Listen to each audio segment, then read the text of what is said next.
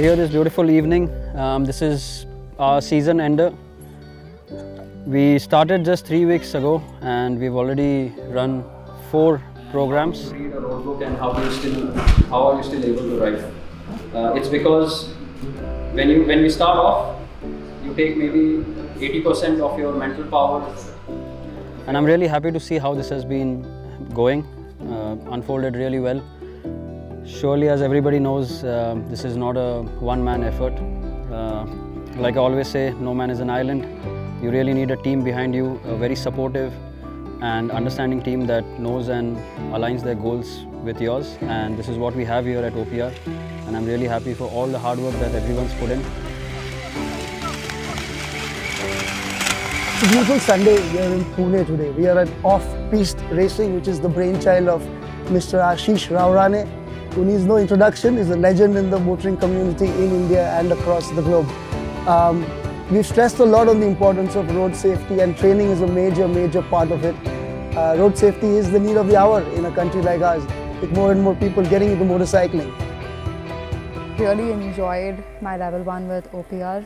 Everything was really great at that point. I know I, that I developed a lot of skills and that I gained a lot of confidence when it comes to off-roading and I want to seriously take this up. That's why that's what pushed me to come for level 2 because I know that the challenges would definitely be higher on level 2 and I want to just push myself and gain that confidence back again.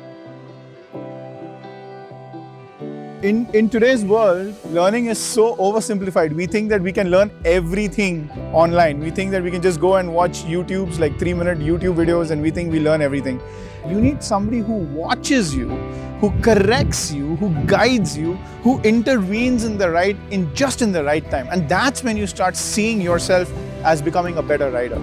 The bike is just inviting you to improve your skills and get better. I think that is one of the biggest things that happened with me at level 2. At level 2, I started owning my bike a lot more than I was owning it before.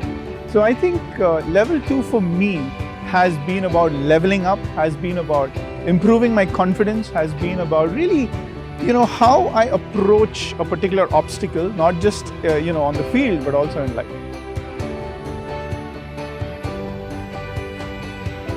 Right from the start, I've been riding sports bikes and um, I've had CBR 400, 600 RRs, now 1000 RR. And I really wanted to experience this. I think guys who have not tried it, this is my first time. I had a hell lot of fun in these two days. The guys taught so many techniques, basic, advanced levels. It was simply amazing. Things that we never thought we could do. At the end of the first day itself, we were doing so many things. And today, in fact, we did one of the biggest uh, descents and ascents that I've ever done.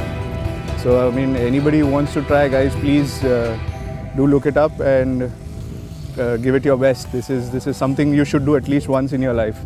Thanks.